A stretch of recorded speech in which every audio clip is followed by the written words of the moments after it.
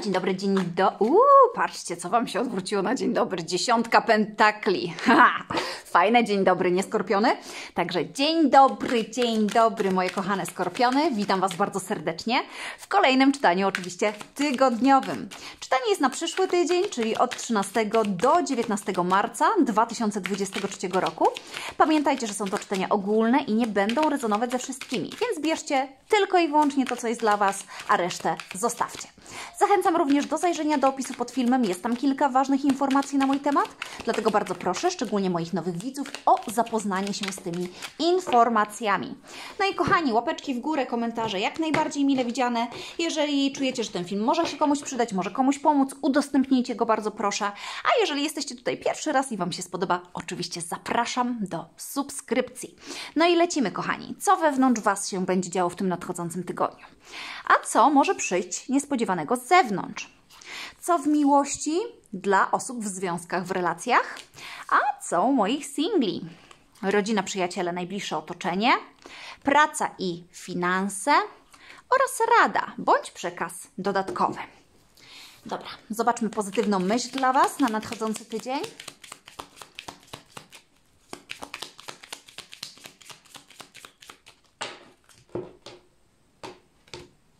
Mhm.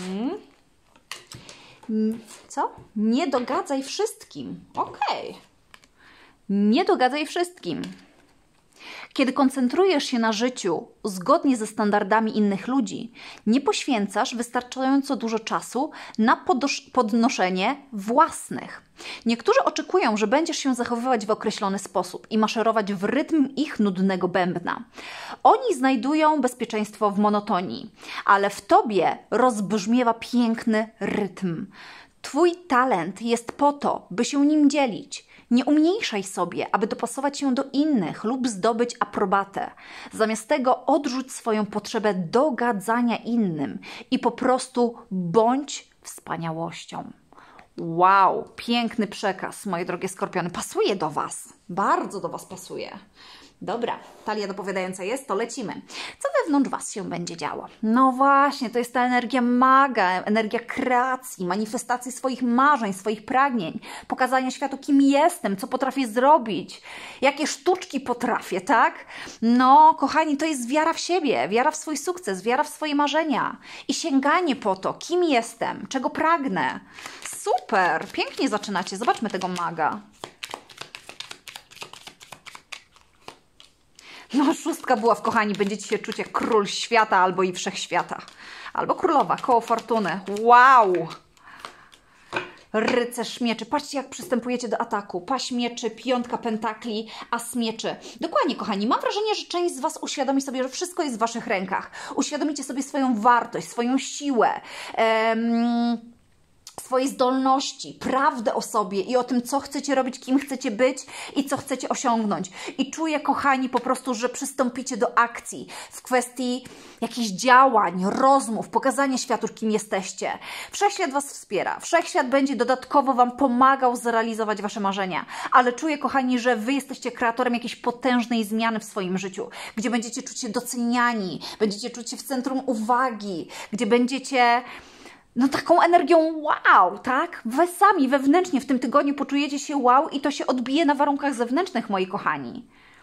Dokładnie, mam wrażenie, że uświadomicie sobie, że siedząc, płacząc w poduszkę i smutając się nad jakimś, jakąś sprawą, nic się nie zmieni i trzeba zaplanować jakieś dalsze działania, sięgnąć po więcej, to jest prawda, którą sobie uświadomicie. Dokładnie, może zablokować się na pewne osoby w swoim otoczeniu, odciąć się od pewnych rzeczy, po to, żeby spełnić jakieś swoje marzenia i żyć w spokoju, miłości, szczęściu, radości.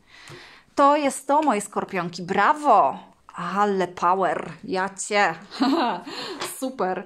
Dobra, w takim razie zobaczmy, co z zewnątrz. No z zewnątrz, kochani, idzie ósemka monet, więc idzie szansa albo na jakąś zapłatę, albo na jakiś kontrakt, albo, kochani, mm, na dopieszczenie jakiegoś projektu, żeby stał się jeszcze lepszy, fajniejszy, bardziej efektowny dla Was, tak?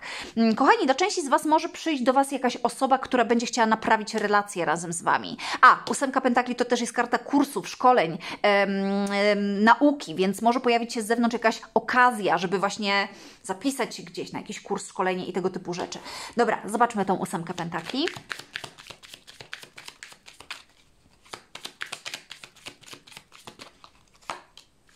Dwójka pentakli, ok. Dziewią e, nie dziewiątka, co ja gadam, szóstka mieczy, super. I trójka mieczy. Oho, piątka kielichów, trójka pentakli, gwiazda. Kochani, pachnie mi uleczeniem jakiejś sytuacji, więc dla części z Was pojawi się jakaś osoba, z którą mieliście jakiś zatarg, który, z którą była jakaś kłótnia. Trójka mieczy to jest zranione serce. E, to może być jakaś osoba, która Was zraniła, zdradziła w jakiś sposób. Mogła być tam jakaś trójkątna sytuacja, ingerencja innych osób w tą Waszą relację. E, jakakolwiek by ona nie była, nie musi to być relacja miłosna, może przyjacielska, może chodzić o jakąś współpracę, ale ewidentnie czuję, kochani, że ta osoba przyjeżdża do Was, będzie jakaś komunikacja ze strony strony tej osoby, ponieważ będzie chciała, że tak powiem, naprawić to, co, e, to, co zepsuła, tak? To, co się skiepściło między Wami. Mm, ta osoba zdecydowanie chce e, być może właśnie zostawić ze sobą jakąś przeszłość, chce wyjaśnić pewne rzeczy, chce szczerze porozmawiać, żeby zostawić właśnie te smutki za sobą i uleczyć tą relację i zbudować nowe, solidne podstawy dla Was.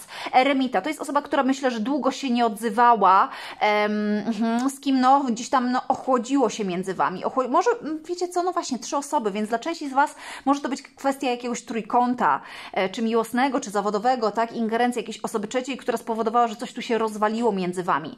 Ale tak jak mówię, ta osoba chce powrócić, żeby odbudować tę relację i spróbować jeszcze raz. E, więc, kochani, no, od Was będzie zależało, że tak powiem, czy przyjmiecie tę osobę, czy nie, ale warto by było ją posłuchać, ponieważ możecie też usłyszeć pewne rzeczy, które pozwolą Wam oczyścić atmosferę i uleczyć może coś w sobie, tak, albo ogólnie w jakiejś sytuacji. Mhm. Tak jest. Kochani, dla części z Was może to być taka kwestia, że. Mm, jakby to powiedzieć, e, żebyście mnie też dobrze, dobrze zrozumieli, że dla części z Was może coś ostatnio nie wypaliło w kwestiach zawodowych u Was.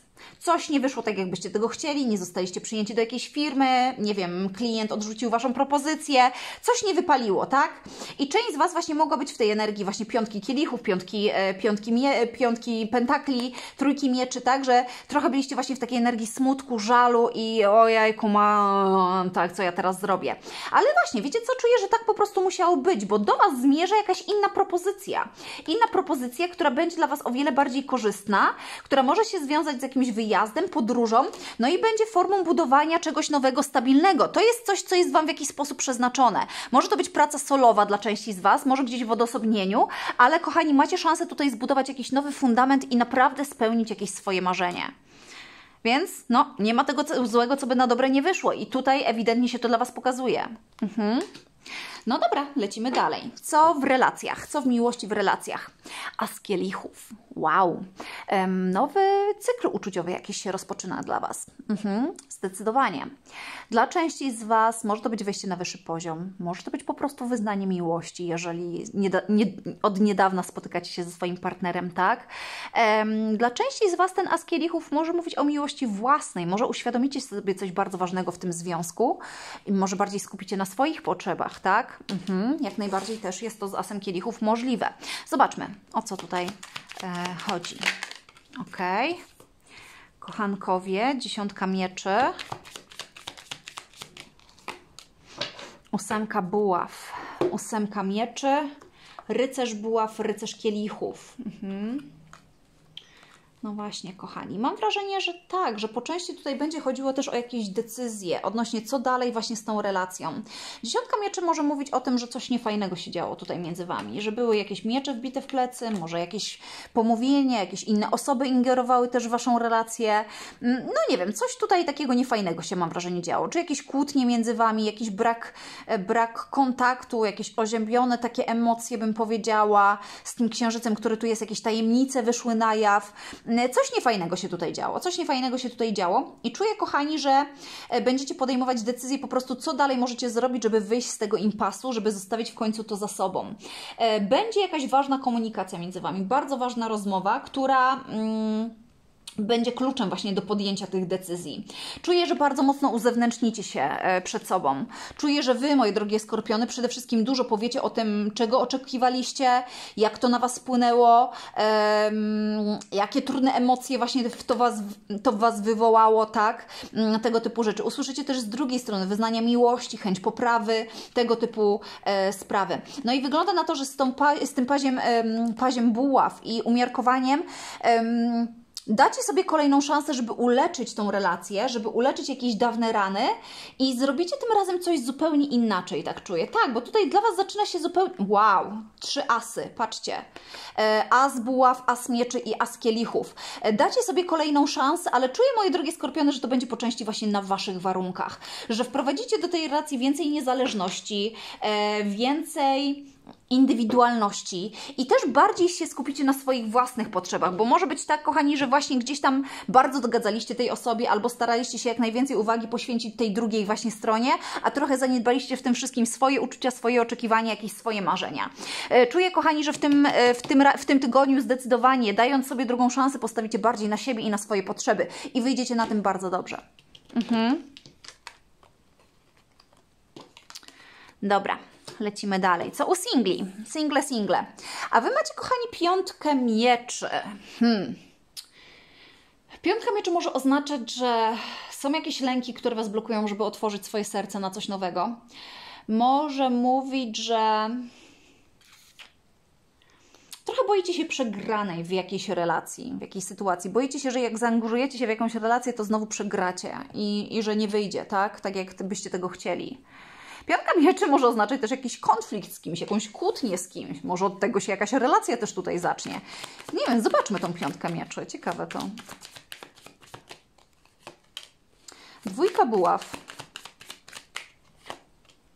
Świat. Mm, rycerz pentakli i król kielichów i sprawiedliwość i słońce Fiu, fiu, tak? Piątka mieczy i śmierci, trójka kielichów. Kochani, wracacie do życia. Wracacie do życia. Moi drodzy, wygląda na to, że część z Was ma szansę e, wyjść w końcu do ludzi i zacząć żyć. Zacząć cieszyć się, bawić po jakimś okresie stagnacji, cierpienia, smutku, żalu mm, za jakąś relacją. Kochani, jeżeli ostatnio byliście w takiej fazie bardziej eremity, właśnie siedzenie w swojej głowie, baliście się wyjść na randki, zaangażować w jakąś relację, w tym tygodniu coś Was pęknie. Mam wrażenie, kochani, uświadomicie sobie, że e, czas po prostu zakończyć okres właśnie jakichś lęków, przestać się martwić opinią innych osób i czas po prostu wyjść i się zabawić. Podejmiecie decyzję, że wychodzicie z powrotem tutaj do ludzi. Jest taka równowaga wewnątrz Was, równowaga emocjonalna bardzo mocno czuję. Też akceptacja samego siebie i właśnie to poczucie, że jasne, że mogę wszystko, że koniec właśnie lęków, koniec jakichś strachów, bo jak będę się lękać i bać, to będę przyciągać jeszcze więcej tego lęku i strachu i będę przyciągać takich partnerów do dupy. A jeżeli będę żyć w miłości, w szczęściu, mm, akceptacji samego siebie, to przyciągnę właśnie takie osoby osoby. Więc kochani, dla części z Was bardzo mocno czuję, że uświadomiacie sobie moc sprawczą swojego umysłu, swojej podświadomości i zaczniecie manifestować właściwie, co pozwoli Wam zakończyć jakieś lęki, tak jak mówię, cieszyć się z powrotem życiem, wyjść z okresu smutku, pracujecie też przy okazji nad sobą, no i właśnie jest ta dziewiątka pentakli, czyli jestem singlem, jestem happy, mogę się otworzyć tutaj jakieś nowe, nowe romanse, nowe, nowe miłości, no i dawaj wszechświecie, zobaczmy co, co, co dla mnie masz, tak? Więc e, bardzo, bardzo fajne fajna energia, kochani. I czuję, że na Waszej drodze może pojawić się ktoś taki. Może ktoś też z trygonu wody, rak, ryby, skorpion. Może ziemista jakaś energia, ziemska energia byk pana koziorożyc, ale pojawił nam się też lew i waga. E, kochani, kto, czuję po prostu, że dla części z Was może pojawić się jakaś osoba też właśnie, która po części wyciągnie Was z tej energii takiego lęku, cierpienia, obawy i stwierdzicie, że może właśnie dla tej osoby warto zaryzykować i wyjść z ukrycia i spróbować. I kochani, to będzie bardzo dobra decyzja, bo ja czuję, że mówię, nie dość, że przy tej osobie powrócicie do jakiejś takiej równowagi wewnętrznej, wasze serduszko mocniej zabije, to poczujecie przede wszystkim szczęście, radość, takie wow, życie jest zarąbiste, tak? No, to jest właśnie taka energia. Część z Was, moi drodzy, może poznać kogoś, bym powiedziała, trochę inszego niż Wasze gdzieś tam towarzystwo albo pewne oczekiwania. I piątka e, mieczy może wynikać z faktu, że będziecie się zastanawiać na zasadzie, a co pomyślą inni, jak wyjdę, nie wiem, z dużo starszym mężczyzną od siebie, albo właśnie z dużo młodszym, tak, od siebie, tak, z dużo młodszą osobą, albo z, nie wiem, innej religii, innej rasy, czy cokolwiek. Coś takiego, kochani, tutaj czuję, że dla części z Was tutaj może być. I część z Was może się martwić, a co pomyślą inni? Chryste Pani, przecież nie tak miało być, nie? A później stwierdzicie, a w tupie to mam, co pomyślą inni. Chcę zaryzykować, chcę się pocieszyć, chcę się bawić i chcę skorzystać z tej okazji i zobaczyć, dokąd mnie doprowadzi. Więc coś takiego dla części z Was, moje skorpiony, czuję, że może się właśnie wydarzyć. Mhm, bardzo mocna energia, bardzo mocna taka transformująca energia dla Was. Super, bardzo fajnie. Ok, w takim razie co jeśli chodzi o rodzinę, przyjaciół, najbliższe otoczenie? Ósemka buław. Kochani, komunikacja, spotkania, e, wiadomości, telefony, dużo się będzie ogólnie działo. Mogą się pojawić jakieś krótkie podróże, wyjazdy, ktoś Was odwiedzi, tego typu rzeczy. Zobaczmy tą e, ósemkę buław.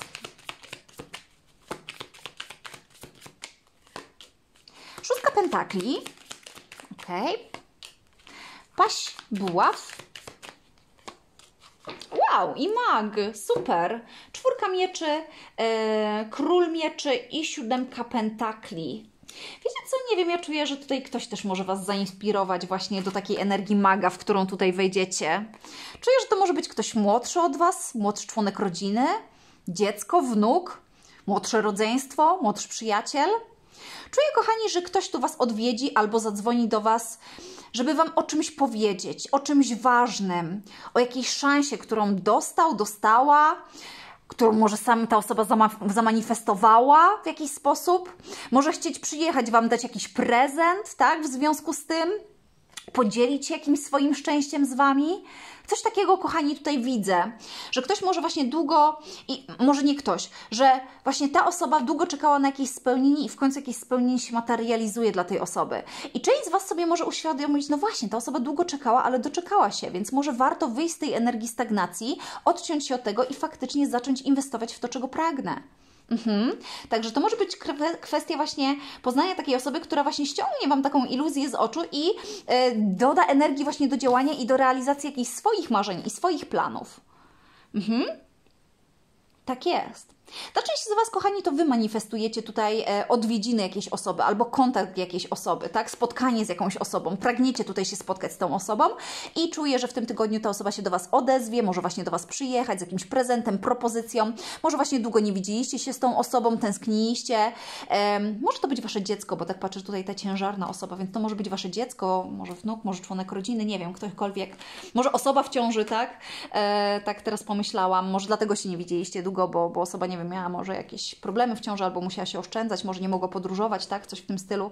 Nie wiem, bądź co bądź, kochani, e, odezwie się do Was ktoś, e, kogo bardzo mocno kochacie e, i to będzie dla Was bardzo szczęśliwe wydarzenie. Mhm. Tak jest. Dobra, praca i finanse skorpionki. Szóstka mieczy. Fajnie, sprawy ruszają do przodu, więc kochani, jeżeli była jakaś stagnacja, albo pojawi się jakiś problem w pracy, albo jest jakiś problem w pracy, wszystko ruszy do przodu. Gładko, pomalutku, spokojnie, tak, we właściwą stronę. Mogą się pojawić jakieś podróże, mogą się pojawić jakieś wyjazdy. no zobaczmy tą szóstkę mieczy.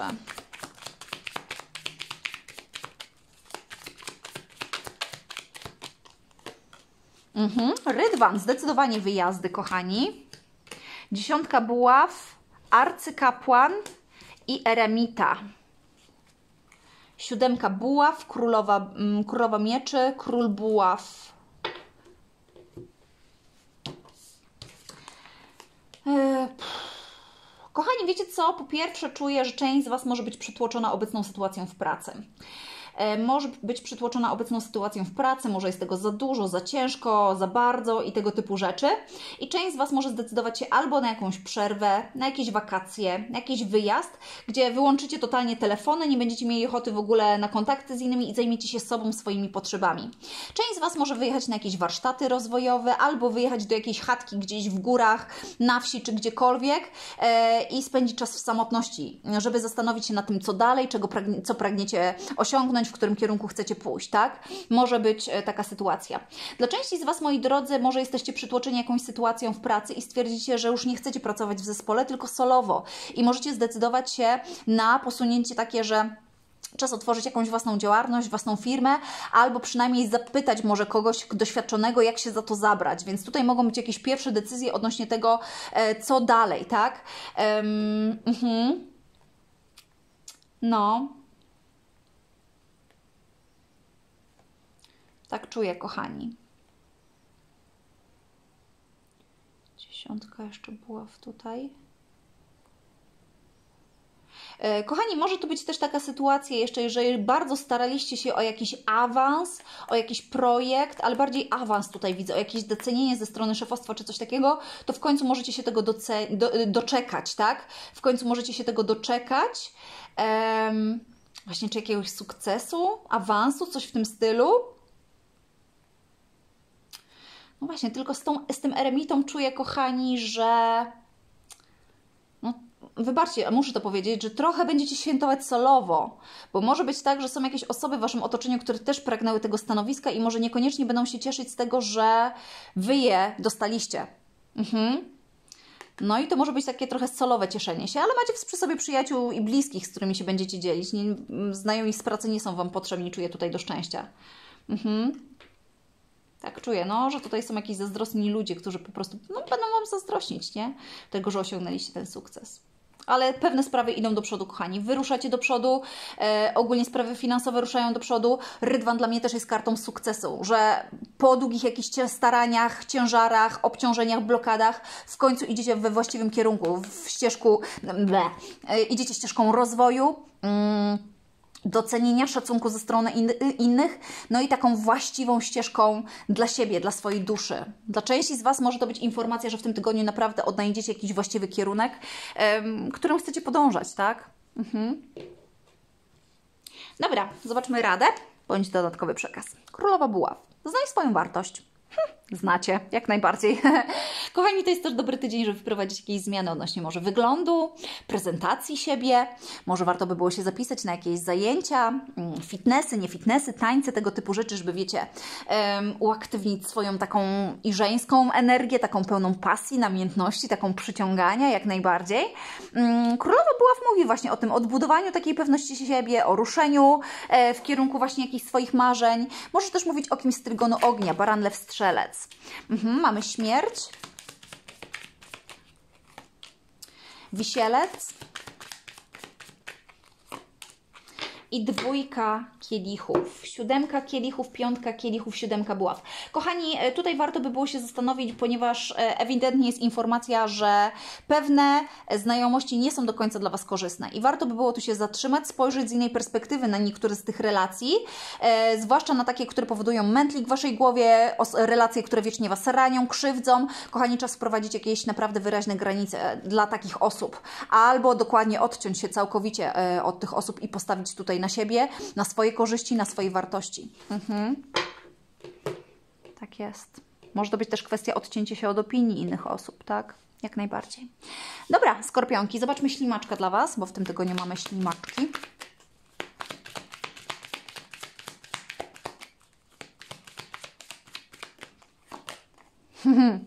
Znajdź czas, by być po prostu niesamowicie szczęśliwym. tak jest, kochani. Znajdźcie na to czas, proszę Was.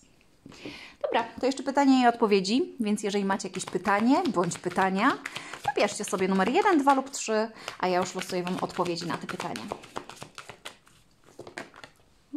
Dobra, nie widzieliście. To biorę, bo to jest jedynka nasza. Dwójeczka i trójeczka. Mamy to. Odpowiedź numer 1 brzmi: Istnieje coś lepszego. Mhm. Odpowiedź numer 2 bądź asertywny. I odpowiedź numer 3. Okazja. Uuu, złota okazja, tak jest. Super. Dobra, kochani, to by było na tyle. E, dziękuję Wam bardzo serdecznie e, za wysłuchanie. Życzę Wam cudownego tygodnia, powodzenia ze wszystkim. No i oczywiście się widzimy się za niedługo. Buziaczki. Pa, pa.